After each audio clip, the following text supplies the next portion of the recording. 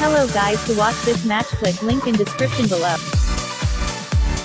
Hello guys to watch this match click link in description below. Hello guys to watch this match click link in description below.